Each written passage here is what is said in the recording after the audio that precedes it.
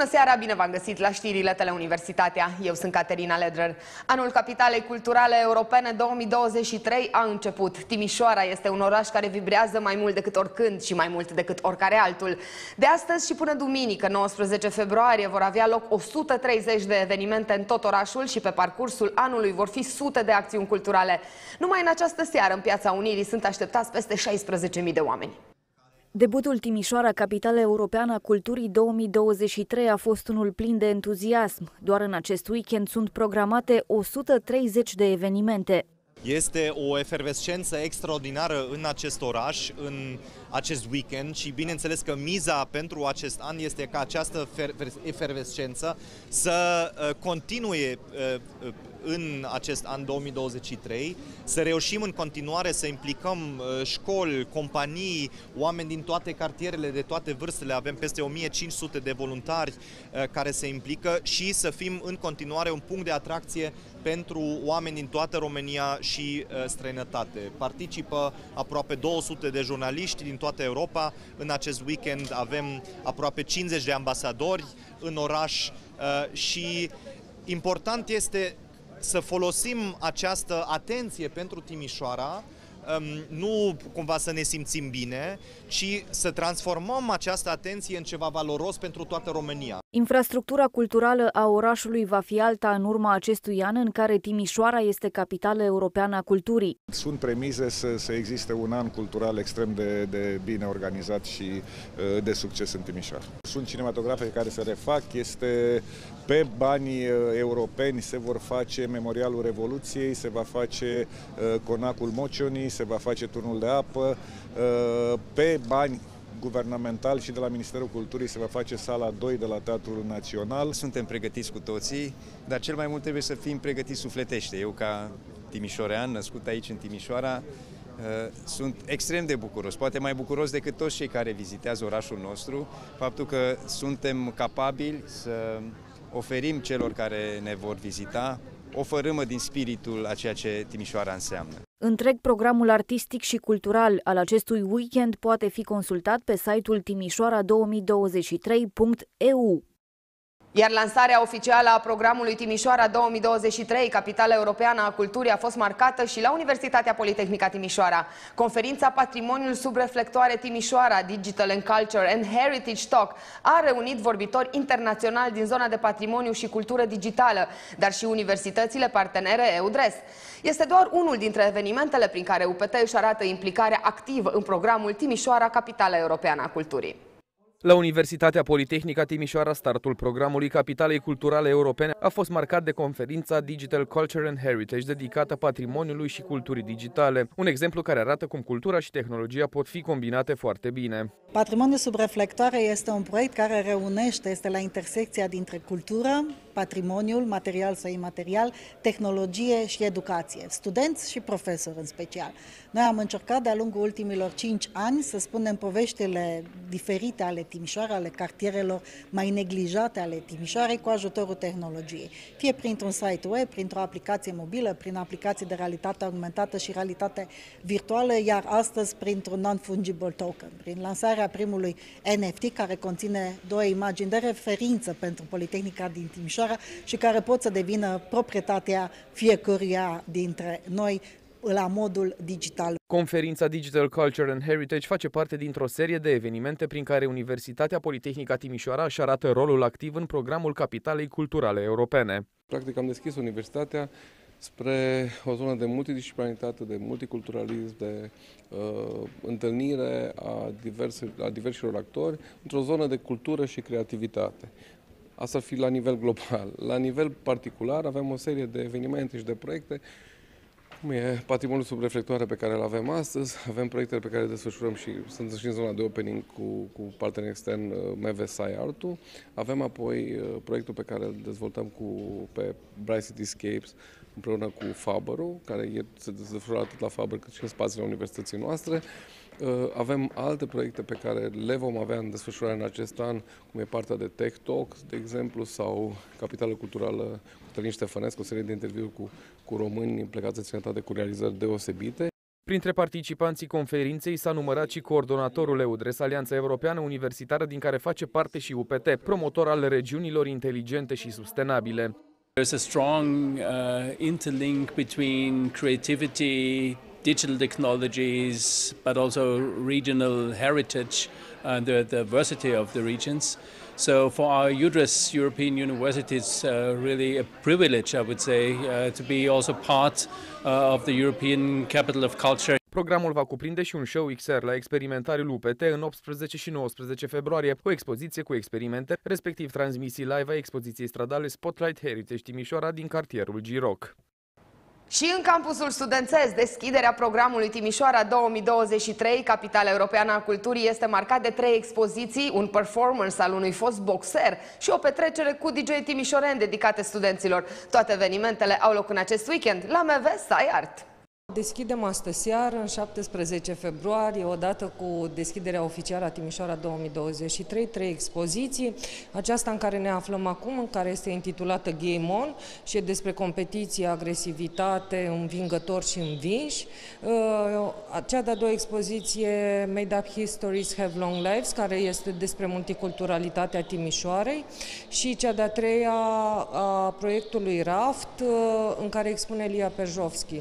De asemenea, asemenea, de la ora 7 avem un performance de box cu Silar Gașpar, activ și box, boxior, iar după aceea ne distrăm și oferta asta e uh, specială, cred, pentru studenți, cu doi DJ locali, New Gotti și DJ Ellen, uh, în galerie și, și pe alee. Deschiderea oficială a programului Timișoara 2023, capitală europeană a culturii, este marcată inclusiv în campusul studențesc. Cultura vine și mai aproape de studenți la MV Sciart, spațiul special amenajat de Metaspațiu, cu sprijinul Universității Universității Politehnica Timișoara. Programul va continua și sâmbătă de la ora 14 cu un tur ghidat al expozițiilor care vor putea fi vizitate la MV Saiart, aflat pe bulevardul Mihai Viteazu numărul 1.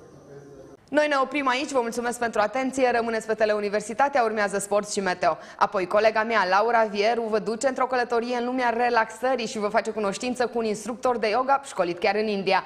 Apoi mergem pe covorul roșu și vedem cele mai îndrăznețe ținute purtate de vedetele de la premiile Grammy. Dar ne oprim și la Oscar. Noi ne revedem luni la știri. Un weekend frumos tuturor!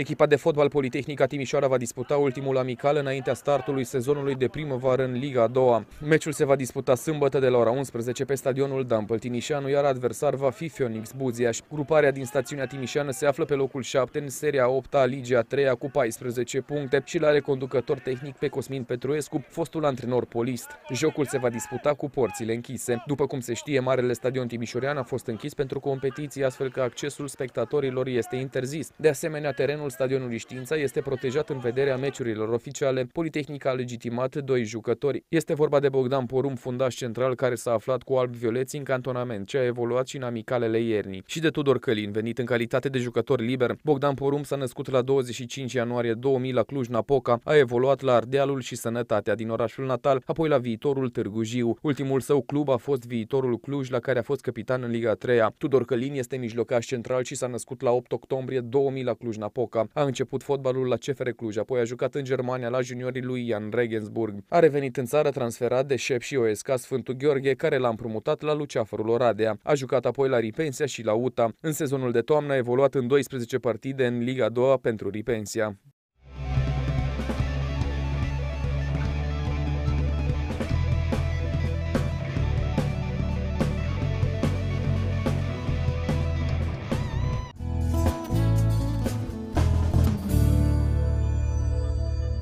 Noaptea ce urmează la Timișoara va fi mult mai caldă față de ultima perioadă, se vor înregistra minime de 7-8 grade Celsius, cerul va fi complet acoperit de nori și prima zi de weekend va fi deosebit de caldă, până la 13 grade Celsius va urca mercurul din termometrele timișorenilor, cerul rămâne noros. Și la Lugoj urmează o noapte caldă, cu minime cuprinse între 6 și 7 grade Celsius. Cerul va fi noros și este așteptată o repriză de ploaie. Prima zi de weekend va fi închisă cu o maximă de 12 grade Celsius. Vântul va bate de la slab la moderat. La Buziaș noaptea aduce cer complet acoperit de nori și o minimă de 7 grade Celsius. Vântul va sufla slab, nu se va însenina nici sâmbătă, însă va fi o zi cu temperaturi de primăvară. Maxima se situează la 13 grade Celsius, însă vântul va prinde putere. Cernoros și o minimă de 8 grade Celsius, aceasta este prognoza pentru noaptea ce urmează la Jimbolia și aici vântul va sufla destul de tare. Nici sâmbătă soarele nu își va face simțită prezența, va fi însă foarte cald, maxima situându-se la 14 grade Celsius. Între 7 și 8 grade Celsius se va situa temperatura nocturnă la St. Nicolau Mare. Vântul va sufla de la slab la moderat, cerul va fi noros și așa va rămâne și în prima zi de weekend. Mercurul din termometre va urca până la 14 grade Celsius.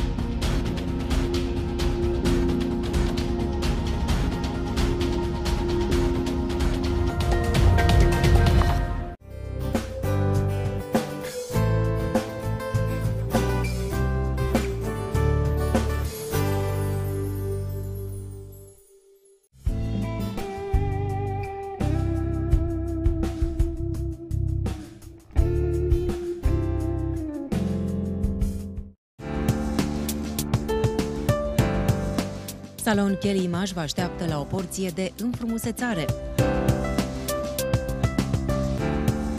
Coafură, frizerie, cosmetică și tratamente faciale.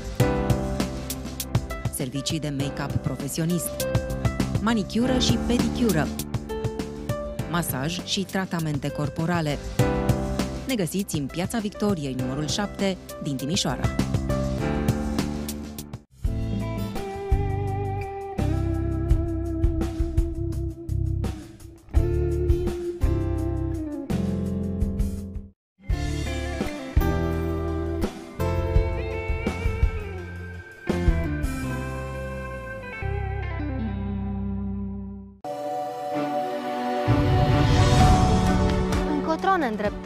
Fiecare dintre noi are propriul cel, dar până să ajungem acolo, ne alegem calea.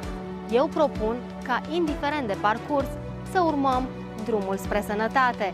Sunt Mihaela Andrea și vă dau o întâlnire în fiecare miercuri seara.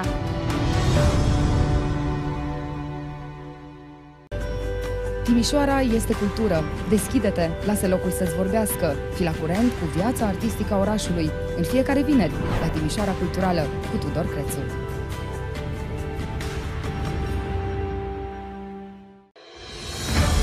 Îți place să fii informat? Vrei să știi tot ce se întâmplă în Timișoara? Primești informațiile importante la știrile Teleuniversitatea de luni până vineri cu Caterina Ledrar.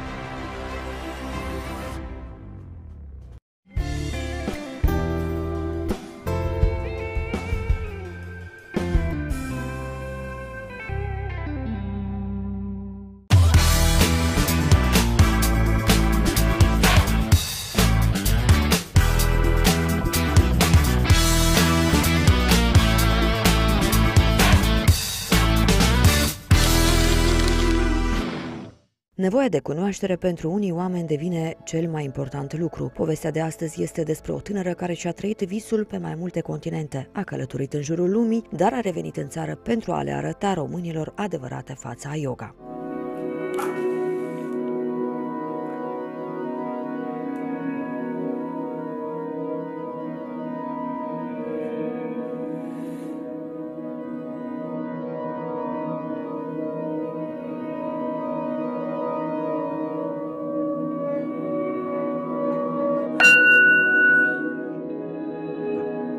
Ea este Manu Angelescu. Acum 15 ani a decis să plece în India. Prima călătorie a fost de recunoaștere.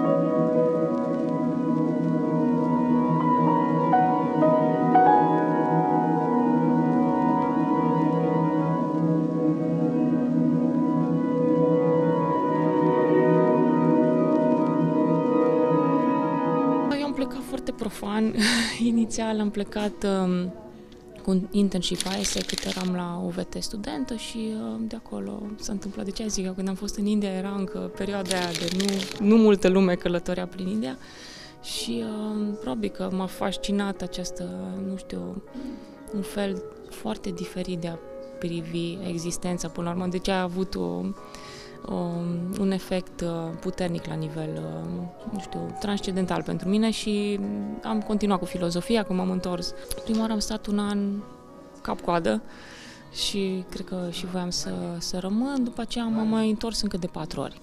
Deci am, am tot fost în India, um, am călătorit în jurul lumii, am și, și scris o carte, deci e o poveste destul de lungă. Întoarsă în țară, Manu era o altă persoană cum se întâmplă cursurile astea, o poveste un pic mai lungă, se stă câte o lună, o lună jumate într-un într-o școală, într-o școală de yoga unde ai un program foarte strict, te trezești la 5, începi practica, după care ai uh, și teorie și exerciții de respirație și cum, cumva toată, tot stilul de viață ți se îți, îți reglezi stil, stilul de viață în așa fel încât când te întorci acasă, indiferent de ce faci, în rest, ce lucrezi, să ai această, acest ritm. Te trezești, meditezi, practici. Deci e o disciplină care aplicată în viața de zi cu zi poate fi extrem de benefică, într-adevăr. Astfel a decis să împărtășească experiența și cu cei de aici.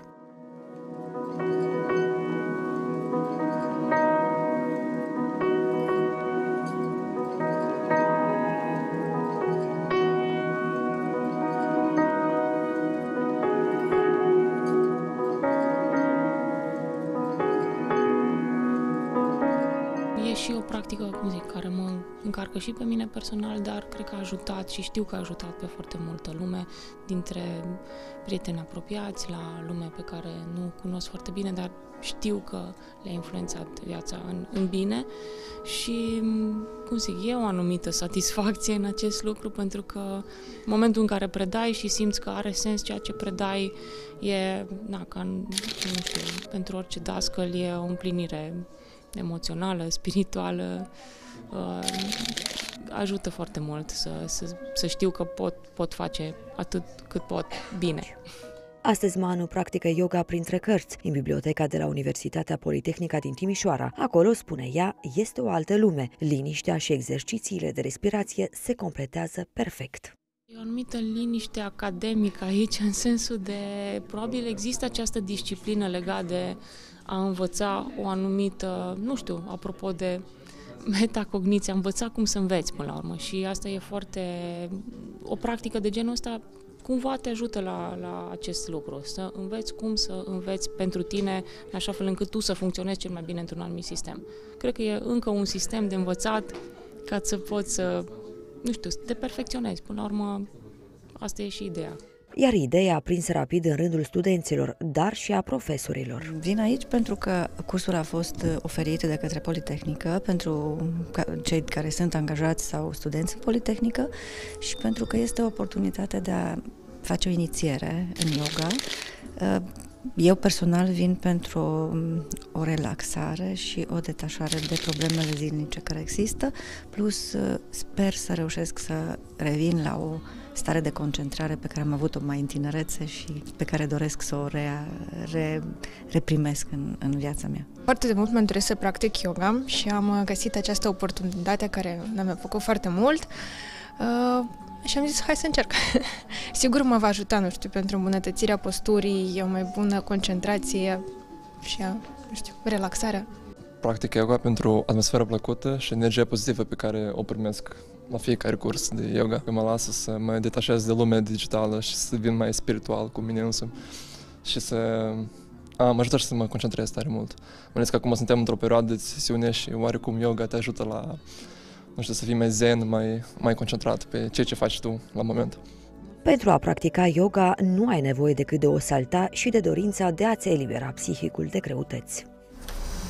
Îndreptăm coloana, inspirăm, lăsăm capul pe spate, expirăm și flexăm genunchii, cobor fruntea spre genunchi, respir aici. Ah toți ajungem să avem poziții incorrecte și asta duce la, nu-ți vine să crezi, dar poate duce la o formă de depresie, pur și simplu postura incorrectă în timpul zilei, că noi nu ne dăm seama cât petrecem în acea postură vizualizând, uh, uitându-ne pe ecranul unui telefon și nici care nu suntem scutiți de problema asta de social media și apropo de focus.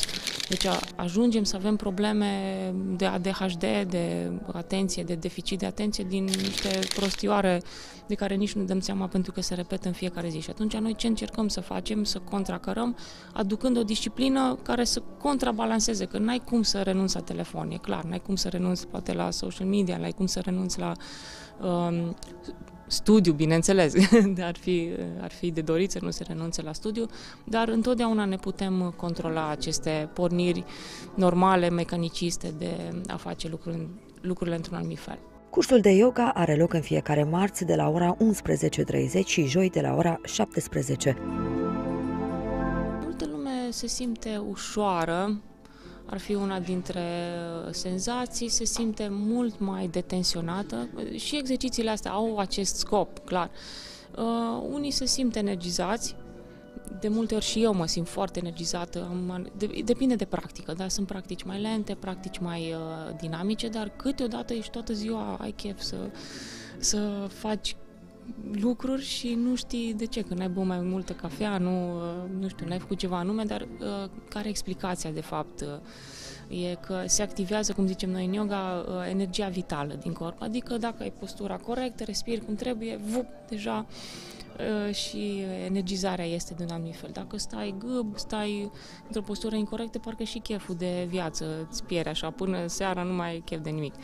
Deci, uh, explicațiile sunt foarte logice, foarte tehnice, dacă e nevoie, nu merg atât spre spiritual. Ideea că, da, are un efect, pe termen lung, în sensul că, da, bineînțeles, ești, fiind mai atent la corp, ești și mai atent la ce ți se întâmplă în jur și pentru că ești mai atent la ce ți se întâmplă în jur, zicem noi și intuitiv faci anumite lucruri în așa fel încât să um, îți urmeze un scop pe termen lung, ție și, bineînțeles, celor apropiați. Deci, în sensul acesta are un efect uh, intuitiv, deci la modul că ți se activează această latură Uh, și faci lucrurile în cunoștință de cauză. Chiar salut această inițiativă, a fost o idee excelentă, lumea vine gratis, da, deci nu se achită nimic, um, poate veni oricine din exterior și până acum ce a fost foarte plăcut pentru mine a fost că lumea e foarte disciplinată, chiar uh, n-am avut niciun fel de probleme, deci mi se pare așa că există un salt fantastic față de acum câțiva ani când într-adevăr lumea venea cu anumite reticențe, mi se părea că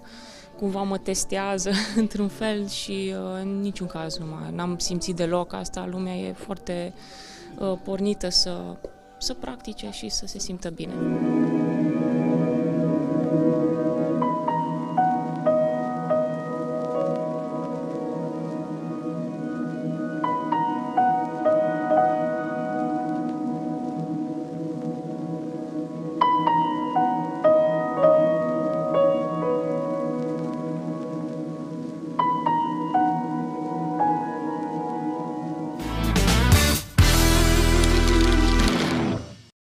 Gala premiilor Grammy a fost o adevărată defilare a ținutelor extravagante și strălucitoare pe covorul roșu. Beyoncé a devenit cea mai premiată artistă din istoria galei, iar Ben Affleck a făcut din nou senzație pe internet. Însă, cum era de așteptat, celebritățile au profitat de ocazie și au îmbrăcat cele mai spectaculoase ținute la acest eveniment.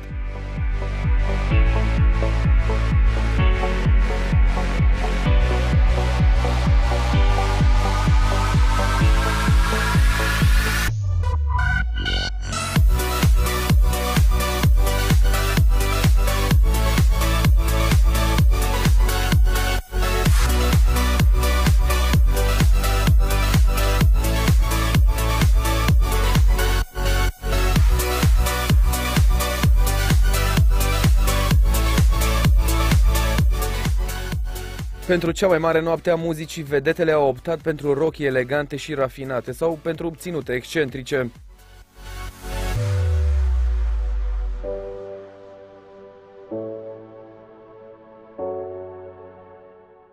Fie că a fost vorba de pelerine ultradimensionate, de trene lungi sau de creații futuriste, artiștii prezenți au făcut declarații îndrăznețe cu piesele din garderoba lor.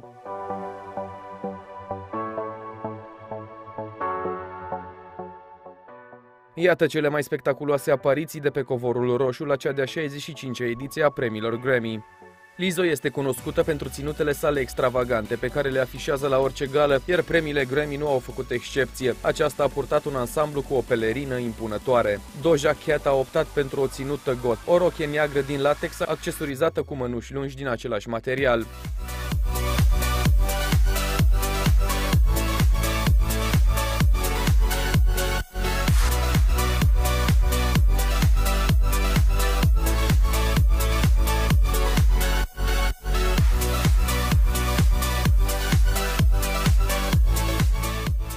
Cel mai bun moment vintage al nopții a aparținut Anitei. Cântăreața braziliană a optat pentru o rochie dintr-o colecție 2003. Cu o trenă uriașă elegantă ținută avea un aer modern chiar și la 20 de ani de când a fost creată.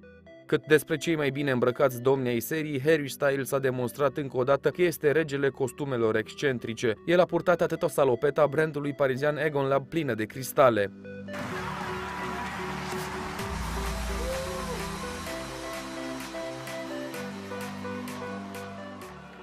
Au fost și artiști care au mizat pe eleganță. Steve Lacey a purtat un costum negru accesorizat cu o broșă de cristal și o poșetă plic.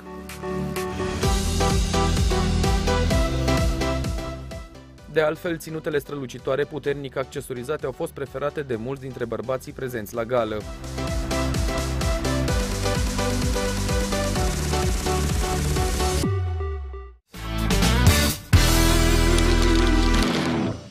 Academia Americană de Film a anunțat nominalizările pentru cea de-a 95-a gală de decernare a premiilor Oscar. Cel mai așteptat eveniment din lumea filmului va avea loc pe 12 martie în Los Angeles, California și va fi prezentat de Jimmy Kimmel. Este a treia oară când cunoscutul actor de comedie și prezentator de talk show este ales ca și gazda galei. În ceea ce privesc nominalizările, lista este una amplă și este plină de producții surprinzătoare cu încasări imense la box office. The Whale, The Fablemans, Elvis și Everything Everywhere All at Once sunt candidați puternici pentru trofeele de top. Lista oficială a fost dezvăluită și este după cum urmează. Nimic nou pe frontul de vest este un film de acțiune. Tânărul Paul, în vârstă de 17 ani, intră pe frontul de vest în primul război mondial, dar euforia sa inițială se stinge rapid în fața realității crunte din tranșee. Es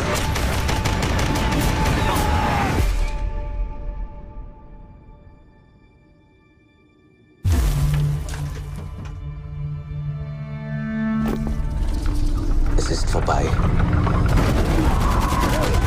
Avatar Drumul Apei, filmul a fost regizat de Martin McDonagh, care a fost și scenaristul cât și unul dintre producătorii. Acțiunea se petrece pe o insulă îndepărtată de pe coasta de vest a Irlandei.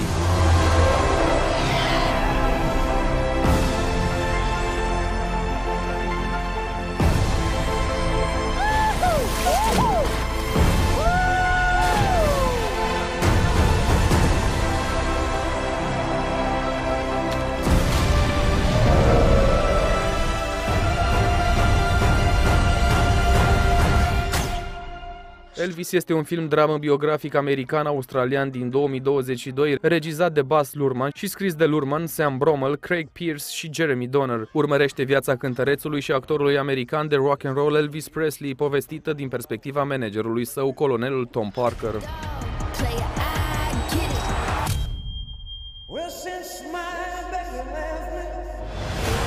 Ladies and gentlemen, here's Elvis Presley.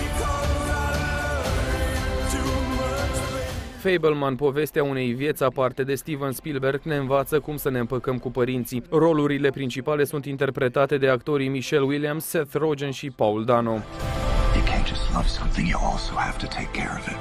It's more important than your hobby. Can you stop calling it a hobby? Mom got a monkey.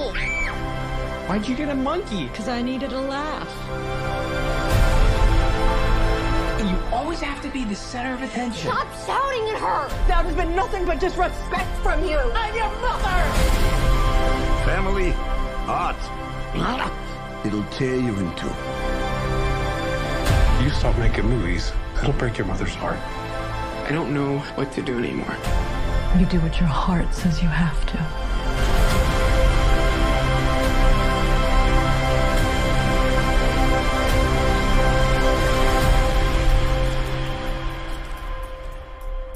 Was your favorite part? Tar este un film de dramă psihologică din 2022 scris și regizat de Todd Field și cu Kate Blanchett în rol principal.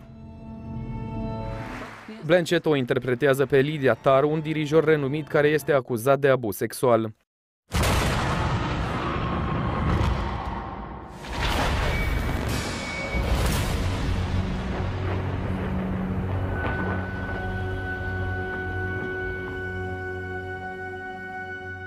Top Gun Maverick este un film american de dramă și acțiune lansat în anul 2022, regizat de Joseph Kosinski și scris de Aaron Kruger, Eric Varensinger și Christopher McQuarrie dintr-o poveste a lui Peter Craig și Justin Marks.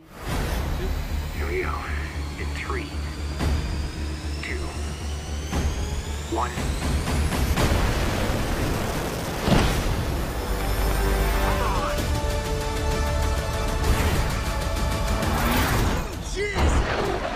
Having any fun yet?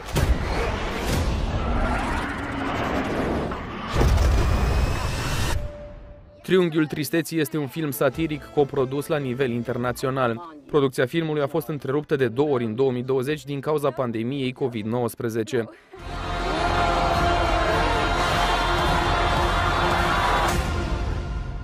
This is really bad. This is really, really bad. Femeilor le place să vorbească este un film dramă scris și regizat de Sarah Polly. Se bazează pe romanul cu același nume din 2018 al lui Miriam Toews și este inspirat de evenimentele din viața reală care au avut loc în colonia Manitoba, o comunitate de menonită îndepărtată și izolată din Bolivia.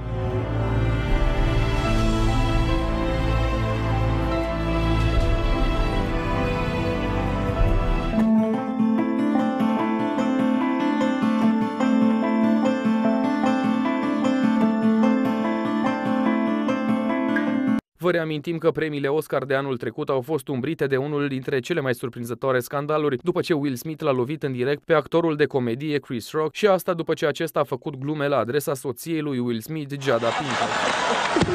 Oh, wow! Wow!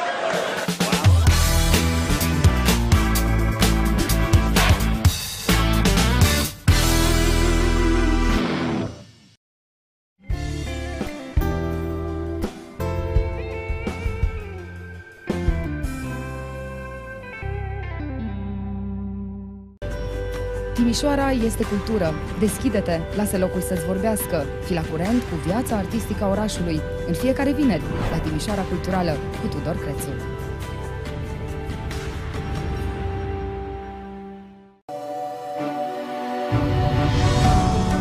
Încotro ne îndreptăm.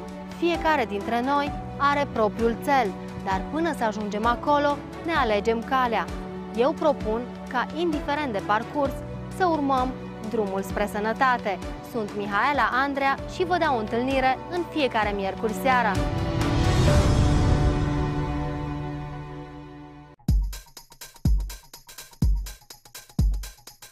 Vrei să cunoști oamenii și poveștile care stau în spatele fotbalului timișorean? Octavian Săncioiu și invitații săi te așteaptă în fiecare miercuri la Istoria fotbalului.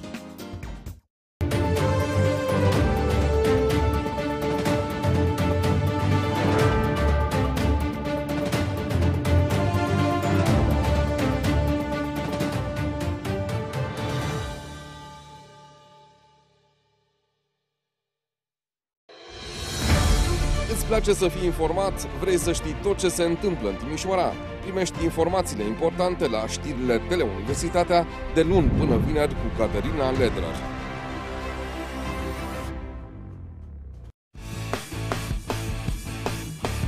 Fotbal, handbal, performanță, dueluri. Hai în tribuna polisportivă să trăiești intensitatea sportului timișorean.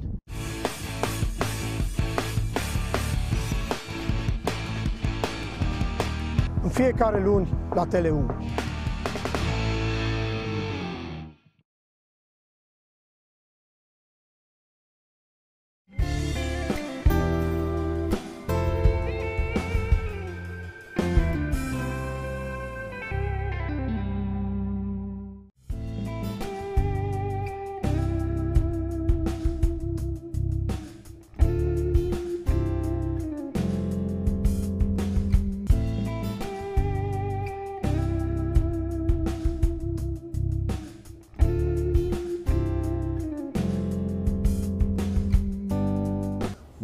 Emisiunea, bine ați revenit, Brânduș Arbanca. A venit data de 17. Începe o revoluție și de data asta. Bine, a început pe 16, dar Da. acum să vedem ce începe de fapt. Nici n-am făcut legătura cu data de 17, dar se poate face, da. Sigur, este un moment important pentru timișoreni, este un moment important pentru toți cei care vor să vadă artă foarte bună, dacă vor să vadă antren pe o scenă mare, de data aceasta în piața Domului, în piața Unirii, ceea ce este neobișnuit, fiindcă uh, de cele mai multe ori uh, evenimentele mari uh, de, de Da, se anvergură fac erau în în centru, în piața piața Operei, da, în piața Operei. Operei. Uh, Dar da, va fi o formă de revoluție și revoluția va consta într-un lucru foarte simplu. Și anume, În faptul că de data aceasta cultura este în centru. Cultura este în centru întregii noastre vieți în toată această perioadă și în acest an. Chiar dacă unii timișoreni nu știu ce se întâmplă, am fost întrebată și eu se cum, percepe ce... vag, de exemplu, Da. că se fac spectacole, că... Da, că va fi ceva. Da, în sensul ăsta. Dar acel ceva este cultural. Și, în sfârșit, readucem, într-un fel, cultura în miezul vieții orașului. Vor fi lucruri în cartiere, va fi în centrul orașului, vor fi eh, lucruri în instituții, va fi important. Dumneavoastră ați scris și despre, mă rog, să zicem așa, parcursul și statutul acestui titlu în context european, nu numai la noi. Este clar că titlul de capitală culturală europeană nu mai este nici el în plină ascensiune, să zic așa, în Europa. Mai degrabă pare a fi pe un fel de pantă ascendentă. Descendentă, pardon. Sunt câteva elemente care trebuie discutate aici. Ce înseamnă acest titlu? Unii văd așa, mai mult un fel de rulare a agendei Bruxellesului, deci un fel de dogmatism bruxelez, de, pentru că e un proiect de stânga. Le-a lansat Clar. de un om de stânga, nu trebuie ascuns, Clar. este un adevăr clar, care încearcă cumva să transforme unele orașe, cum ar fi Timișoara, cum este Novi Sad, că de obicei nu se mai prea de la capitalele administrative Da. ale unor țări, în capitale cu adevărat culturale. Pot fi centre culturale, orașe precum Timișoara sau Novi Sad. Este așa ceva, este un fel de pericol, dogmatizare, de exprimare a unor conținuturi, mai mult în sensul educării populației, cum se zicea mai de mult. Deci da, este un proiect de stânga uh, care a evoluat mai la stânga sau mai spre centru, după cât de creativi au fost cei care au derulat aceste programe și care le-au conceput. Nu fiecare oraș a înghițit uh, Agenda această, sau da, exact, principiile, să zicem. agenda, principiile le-a înghițit, dar agenda n-a exagerat-o, n-a extrapolat-o. Adică, domne, nu mai avem nevoie de cultură mare, o să mergem uh, frumos uh, doar în rândul poporului Cultură și... comunitară, cum ar fi, la modul ăsta. Da, și acolo vom face noi mica noastră cultură. Nu toate orașele au înghițit asta. Cele mai multe uh, capitale culturale europene au uh, deviat un pic acest, uh, acest concept către ceva care, unu, să aducă într-adevăr audiență, pentru că dacă nu vine nimeni, n-are rost, se cheltuiesc totuși destul de mulți bani. E vorba de Uh, zeci da. de milioane de euro în fiecare E- caz. Exact, și poate chiar sute de milioane, pentru că la Vesprem, unde am fost recent, în Ungaria, acolo, uh, guvernul a dat 180 de milioane unui orășel de 57 de mii de locuitori. Da. locuitori. Ei, și atunci programul a fost conceput, gândit și fasonat în așa fel încât să și placă, să aducă oamenii către ceva frumos. Cu un accent pe muzică în Da. deschidere, pe concerte, Sigur, cum va fi și la noi. Acolo, că nu e o- acolo sigur, vine mai multă lume, piețele pot fi pline în felul acesta, dar, iată, uite, în Timișoara, de exemplu, contrabalansul se face cu niște mari expoziții, pentru că expoziția Browner, de la care chiar în clipa asta am venit, Ajuns, da? da, uh, expoziția Browner este o retrospectivă inimaginabilă. Niciodată în România Browner n-a fost recuperat în felul acesta din colecții uh, publice, din colecții private, de la Centrul Pompidou, care asta înseamnă cultură înaltă, da? Uh, De asemenea, vom avea uh, concerte simfonice de cea mai bună calitate, Uh, Sigur, ne bazăm foarte mult pe timișoreanul nostru, pe un mare dirijor uh, european și uh, uh, mondial, pe Măcelaru, nu? care va dirija și el și sunt invitați mai mulți. Vom avea teatru de bună calitate, vom avea operă, deci cumva este un balans între Acum, ca, lucruri. ca început deja, nu? Așa se pune problema, Da. vă simt mult mai optimistă.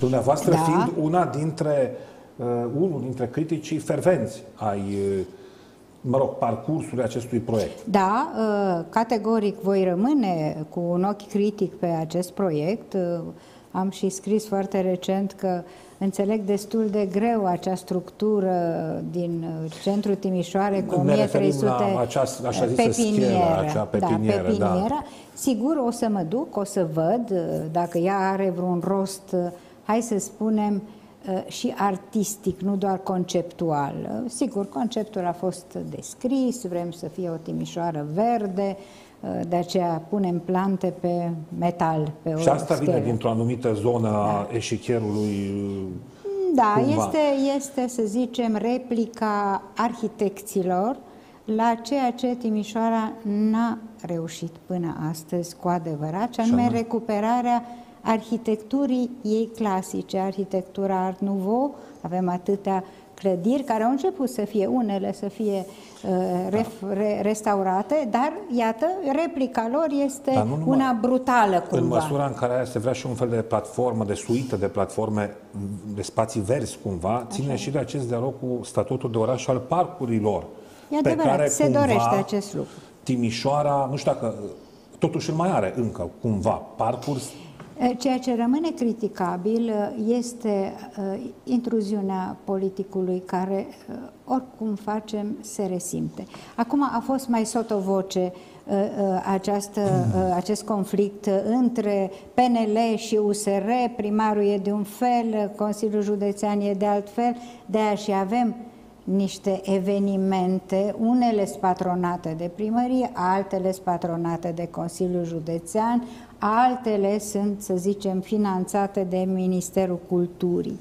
E, această, in- a, a, acest lucru îl, îl simțim într-un fel. Și îl simțim, iată, a venit Ministrul Culturii de aseară uh, în Timișoara, el n-a participat însă ca să le întrebe presa una alta uh, despre expoziția Brauner, uh, a participat la un alt eveniment, uh, nu, la uh, decernarea titlului de honoris causa uh, domnului Ioan Hollander uh, și a fugit la partid să țină o conferință de presă acolo. Deci lucrul ăsta sigur mă intrigă, mă intrigă în aceeași măsură la PNL, mă intrigă în aceeași măsură la USR, atunci când întâietatea nu este cultura, nu este evenimentul, nu este orașul, nu sunt timișorenii, ci partidele. Ele sunt cele peste mai... gard, să zicem așa, la unguri, cum a fost? Că ați spus că guvernul Orban, care este, de exemplu, f- foarte criticat în Europa cu Orban în frunte, a dat sume mari, unui oraș mic. Așa este. Deci Pentru- uh, acolo politicul dictează, deci să fim în clar. Uh, Acolo este un primar Fides, de altfel primari Fides sunt peste tot. Da, mai ales în partea estică, cumva, a Ungariei, unde Da. e o zonă de primari de 40-50 de ani de dreapta cei mai mulți, că asta da, înseamnă. Da, exact. În, Da, ei, ei, uh, sigur, în acest uh, orășel, în Vesprem, s-a născut Tibor Navrocici, care a fost ministru de externe, a fost ministru dezvoltării, comisar european, deci, cum să zic, sigur, nu pun pe seama faptului că el ar fi influențat alegerea și ei au mers după acest concurs, trei orașe care au concurat, a fost Dior, a fost Debrecen, adică orașe puțin mai mari. La noi a concurat și Bucureștiul. Da. La ei Budapesta, din câte știu, nu, nu, a, nu, a, concurat, nu a concurat. Nu a concurat. Da, deci uh, acolo politicul dictează, nu se discută. De aceea sumele au fost foarte mari, acel orășel se va reface și ceea ce fac ei uh, foarte bine, este că dezvoltă regiunea. Acolo merge omul la Balaton numai vara, dar acolo sunt de văzut multe lucruri în împrejurimi. Deci o asumare regională, da, cumva. Categoric, acolo categoric. nu se referă uh, doar la un oraș, care oricum nu este de dimensiune Timișoare, da, da. ci un, și la noi s-a încercat asta. Să știți, când au fost concursurile astea, ce oraș să fie desemnat, Craiova, de exemplu, și-a asumat candidatura numele Olteniei. Acolo s-a încercat primirea unor fonduri de la județele care constituiau provincia, cum ar fi regiunea da. pentru asta și nu putem să nu observăm, să contextualizăm spunând că în euroregiune, cum se cheamă acum Dunăre, Criș, Mureș, Tisa, Tisa. practic sunt uh, uh, trei capitale culturale care, mă rog, au fost, sunt și vor fi. Iată, a fost Novi Sadu anul da, trecut. care a încheiat. Da, țară care, din Serbia care nu este în UE, că și da, asta e da. interesant. Acum acest oraș din Ungaria, acum Timișoara, deci o concentrare de titluri cumva de tipul ăsta aici. Da. Ă, acum nu știu foarte exact ă, cum au făcut aceste opțiuni. Este bine că cade cumva accentul pe o zonă, pe o regiune care, hai să recunoaștem, n-a fost foarte băgată în seamă de Europa în timp. Deci nici uh, Balatonul n-a fost uh, în centrul atenției. Nu ca zonă culturală, uh, cel da, puțin, să ca zicem. zonă culturală. Timișoara a meritat atenție și a fost cândva în atenție, dar asta a fost odată cu Revoluția și puțin după. Și după aia gata. Un fenomen interesant a fost și la Novi Sad, că acolo părerile sunt mixte, acolo s-a încheiat, a fost anul da. trecut Novi Sadul, capitală culturală. Din informațiile pe care le aveți, cum a ieșit acolo, în această țară, Serbia, care nu este în UE, da. care are o anumită zvâcnire patriotică, să zicem, de un anumit uh, tip și într-un oraș, iată, foarte aproape de noi până la urmă. Uh, am fost la Novi Sad, uh, am fost și la închidere, ei au făcut și deschiderea și închiderea de Revelionul Sârbesc. Da, da adică noi, trecut noi, anul... știm, noi știm ce înseamnă da. asta, că se sărbătorește și la noi, în 13 ianuarie. Ei s-au confruntat cu două dificultăți cu care ne-am confruntat și ne confruntăm și noi și anume dificultatea de a implica cetățenii, de a le explica ce Dumnezeu este asta. Deci asta au avut ei, această problemă, și de asemenea problema finanțării care a căzut tot pe spinarea municipalității. Acum, Novi Sad nu e un oraș mic, este un oraș de 380.000 de locuitori. Al Sigur, deci e un oraș mare, dar uh, trebuie să înțeleagă și timișorenii cheltuirea un, unei, unor sume serioase uh, din partea unei municipalități înseamnă că banii se iau de altundeva.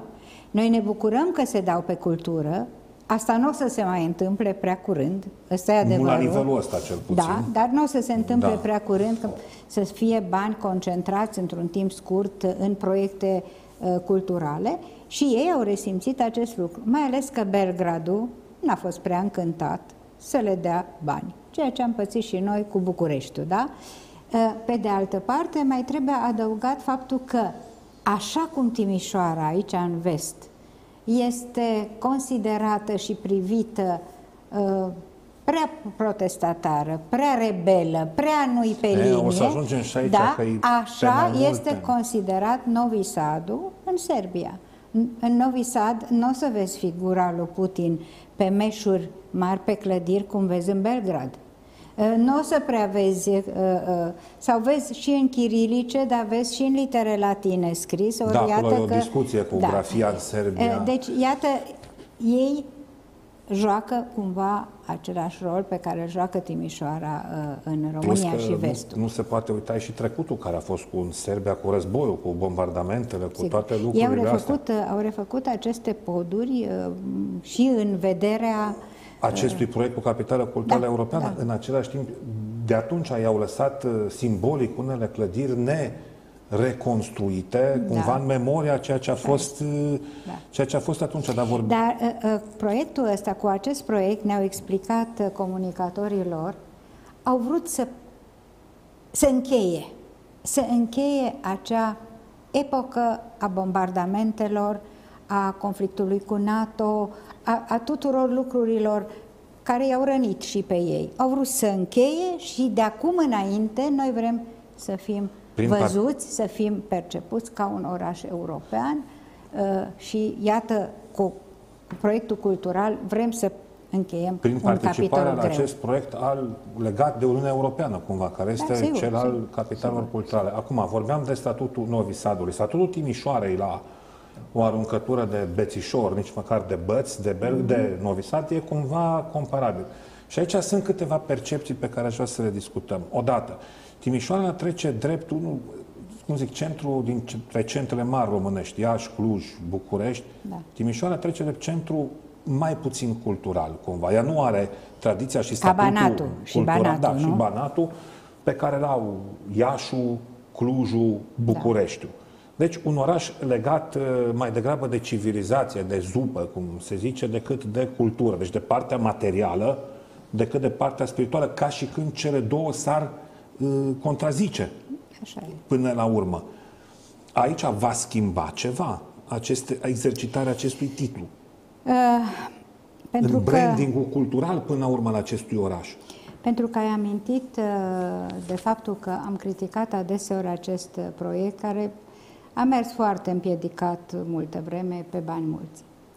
Uite, uite noi avem doi oameni de mare anvergură, doi premianți Nobel, de care nici nu amintim în această capitală culturală. Pe Herta Müller, da? Da. Și pe uh, uh, celebrul uh, fizician Na. Absolvenți de Da, Lenau, absolvenți amândoi, de- da, de de liceu Lenau, nemțesc da, pe uite, această acum- filieră. e un exact, lapsus da, și eu da. numele le uit cel mai des. Da. Nu știu dacă... Ok, o, să, o să-mi amintesc pe parcurs poate, da? Hell, da?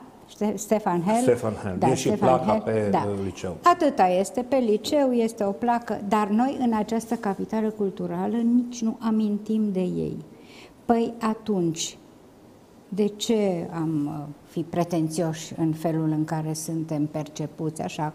Mai, mai cu uh, știința, mai cu politehnica, mai cu uh, chestiile astea, dar uh, mai multi, Și- multicultural, ok, Decât dar aproape- fără vârfuri, da? Da, exact. Deci mai mult o dezvoltare cumva la nivel de bază, de viață Da. instituțională, de nu, atâta cât e, dar ca forme cumva medii, să zicem, fără acele vârfuri care de fapt dau relieful, Da. care Păi da, dar dacă noi nu ne recunoaștem vârfurile, Deci de aici atunci, pleacă. Da, aș zice că da, aș zice că da, cred că uh, până la urmă personalitățile uh, care au crescut în această zonă uh, n-au fost bine promovate nici în capitala culturală europeană, ăsta e adevărul. Deci, uite, Aici facem se- Brauner, care Da. este minunat, dar nu are nicio legătură și e cu bine că se Timișoara. face, că trebuia Absolut. și re- Brâncuș, re, Da. astea Sigur, sunt niște sigur, câștiguri sigur. imense, că se face aici, acum asta. Dar în același timp, asta e discuția care cumva leagă acest punct al dialogului nostru de ce discutam la început, și anume că mai mult se promovează niște chestiuni care, mă rog, vin din alte zone ale culturii decât ceea ce avem mai european aici, cumva. Da, exact. Uh, Asta este. Sigur că facem niște recuperări uh, cumva în modestie. Uh, De exemplu, Universitatea de Vest uh, promovează dialogurile cu uh, timișoreni care au mm, excelat în, în proiectele lor culturale. Vine Ujică înapoi, Da. nu? Uh, Tocmai aflăm din niște dosare ale securității cât de urmărit era, nu? Vine într-un dialog cu un uh, filozof, Sloterdijk. uh, da, Dar toate lucrurile astea sunt așa cumva parohiale, nu, nu îndrăznim să strigăm păi mai asta tare. este, cum să zic, da. Ce, uh, care este de fapt în marketing importanța sublinierii cu roșu? Uh, eu cred că noi nu avem marketing cultural. Noi nu avem în acest oraș suficient uh, marketing cultural și sunt destul de surprinsă, cred că am scris și pe Facebook, uh, de faptul că foarte mulți oameni tineri care au puțină experiență uh, își pun în CV-uri expert, expert în comunicare, nu, un jargon expert, aici de expert, expert. Păi noi tocmai de experți ducem lipsă. Păi, cum era cu poetul nepereche la școală cu Eminescu, da, acum, acum s-a lansat în termen de proiecte cu expert de nu știu da, care da. și așa mai departe. Da, deci comunicarea este la această oră, în această epocă, este o profesie importantă și ea necesită experți cu adevărat. Vă referiți cumva și la faptul că dacă sunt lucruri care rămân nespuse aici sau de aici, nu le spune nimeni, de fapt, despre așa tine. Este, așa Pentru este. că nimeni nu... Exact. Cum să zic, uh, nu te botează dacă nu da. mergi la biserică sau dacă nu ai biserică noi, în sat sau dacă noi n-ai... am rămas cumva uh, într-o religie a cărții, care este un lucru superb. Uh, sunt cărți importante care s-au scris despre cultura Banatului, despre istoria Timișoarei. Sunt, există aceste cărți. Unele sunt foarte, foarte bine uh, închegate și chiar foarte frumos ilustrate. Asta ultimele, de exemplu, cele făcute de proiectul Heritage, care ia da. clădire cu clădire. Dar noi nu mai suntem acum în epoca cititului. Ele trebuie făcute, trebuie să rămână, dar cred că la ora asta altele sunt căile de comunicare pe care, evident, am putea să, Acum, pro- să ne promovăm. Peste tot în Europa, capul de capetele de afiș în agenda unui proiect de tipul ăsta înseamnă artele spectacolului, arte vizuale în sensul, în sensul larg. Deci cam cu astea, astea țin primele rânduri ale uh, ale scenei. Revenind la Timișoara, acum ea e văzută și ca unul din, și este, fără îndoială, și poate unul dintre cele mai multiculturale locuri ale României. Unii percep acest fapt ca fiind uh, versiunea pozitivă a următorului adevăr, că e mai puțin românesc decât altele. Sau următoarei, mă rog, interpretări a adevărului asta, că e mai puțin românesc decât altele. Într-o anumită marginalizare a Timișoarei în cultură, credeți că de fapt contează și asta? Că figuri plecate de aici, Herta Müller, Bela Bartok, mai știu eu cine, da. sunt mai puțin pătrunse în narativul național, cum se zice, tocmai pentru că provin din alte uh, etnii, fiind Uh, cumva nu doar revendicate, ci și adjudecate de alte culturi. Herta Müller, de exemplu, ca o câștigătoare a premiului Nobel nu în 2009, e o scriitoare acum germană, a sunat-o Merkel, nu? Când a câștigat premiul atunci, să o felicite. Deci ea ilustrează mai mult acel spațiu. Uh, noi nu ne-am revendicat uh, aceste valori, tocmai am spus lucrul acestea. Noi nu, nu, nu le-am, n-am revendicat cu adevărat Ba, din potrivă, am exclus. Cred că am mai povestit la una din emisiunile tale că Herta Müller, precum și ceilalți scriitori din Acțions Grupe, grupe Banat, da, da, au fost excluși din uh, filiala Timișoara Uniunii Scriitorilor că nu și-au plătit cotizația. cotizația. Deci vreau să zic că acest lucru este de neimaginat. Uh, integrarea lor uh, a și existat uh, o, o sărbătorire, să zicem, a, o evocare a 50 de ani de, de, de existență, da, Banal, da, aici în Timișoara, dar a fost restrânsă la comunitatea germană.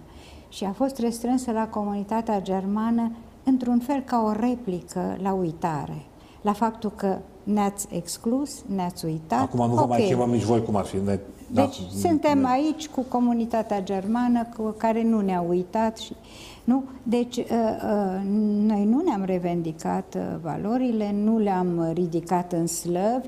Sigur că există și un fel de a fi al nostru, care nu țipă așa de tare. Și care, în planul uh, afirmării, e un dezavantaj, da. să ne înțelegem clar, sigur, față sigur de că da. spiritul altor eu, eu nu spun că deși suntem acuzați, nu? Bănățeanul mereu se bate cu cărămida da, în piept, da? Niște... Dar uh, adevărul este că nu ne batem cu cărămida în piept suficient de mult ca să se audă până că, departe. Ca orice dinamică nouă în creștere, Va fi și un fel de stres organizatoric, de risc organizatoric, dar fără asta nu dezvolți absolut nimic, Acolo nicăieri. Unde, nu... Deci așteptarea este să fie, pentru că și vremea e Foarte favorabilă, bună. da, să fie 15-16 mii de uh, cetățeni At- care se mișcă concomitent în aceste zone.